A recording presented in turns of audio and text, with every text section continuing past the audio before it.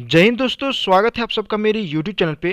तो दोस्तों, आप लोग देख सकते हो मैं बीपीएससी की ऑफिशियल साइट पे हूँ और आप लोग यहाँ पे एक लिंक देख सकते हो दोस्तों, जिस लिंक का वेट छात्र लोग बहुत दिनों से कर रहे थे और फाइनली वह लिंक यहाँ पे अपडेट कर दिया गया है दोस्तों बीपीएससी के द्वारा। जी हाँ दोस्तों, आप लोग देख सकते हो बीपीएससी 67 प्री एग्ज़ाम जो है उसका रिज़ल्ट यहाँ पे अनाउंसमेंट कर दिया गया है।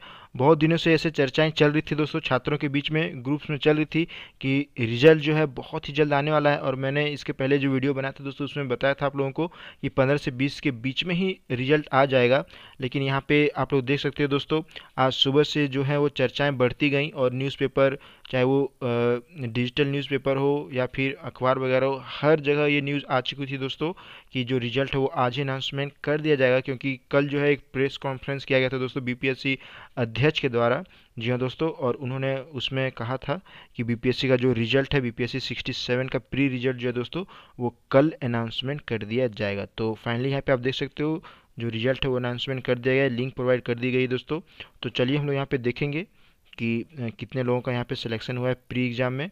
और आप लोग देख सकते हो यहाँ पे आंसर की वगैरह भी दी गई है, ये देखिए दोस्तों। और कट ऑफ़ भी हम लोग देखेंगे, हर चीज़ यहाँ पे देखेंगे। तो चलिए, इस नोटिस को, इस पीडीएफ को हम लोग यहाँ पे डाउनलोड करते हैं। तो यहाँ पे आप लोग देख सकते हो दोस्तों रिज़ल्ट पीडीएफ जो है वो डाउनलोड हो चुका है। और अगर बात करें दोस्तों तो यह जो एग्ज़ाम यानी B P S C sixty seven pre exam जो कंडक्ट कराया गया था थर्टी सितंबर 2022 को दोस्तों, उसका यह रिज़ल्ट है। हालाँकि आप लोग पता हो दोस्तों, इसका एक बार और एग्ज़ाम हो चुका था, यह री एग्ज़ाम था। मई में इसका पहला एग्ज़ाम हुआ था दोस्तों, जो पेपर लीक की वजह से कैंसिल कर दिया गया और फिर से इसे कंडक्ट कराया गया सितंबर 30 को। आप लोग देख सकते हो दोस्तों, एक ही चरण में यह एग्ज़ाम हुआ था। अड़तीस जिलों में यह एग्ज़ाम संपन्न कराई गई थी दोस्तों, जिसमें टोटल 1115 परीक्षा केंद्र बनाए गए थे।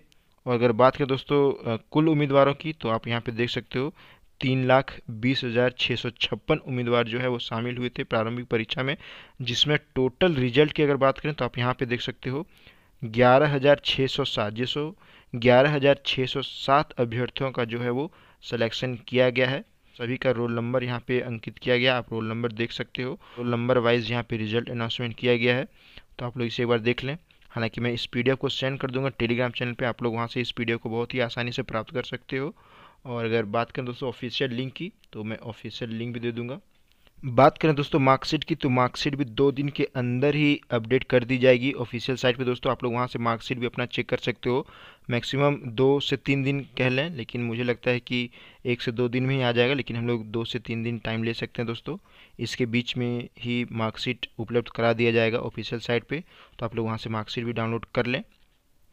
तो अभी के लिए बस इतना है दोस्तों आई हमारे साथ जुड़ें चैनल को सब्सक्राइब करें, वीडियो को लाइक करके शेयर कर दें। थैंक यू दोस्तों, जय हिंद, जय भारत, वंदे मातरम।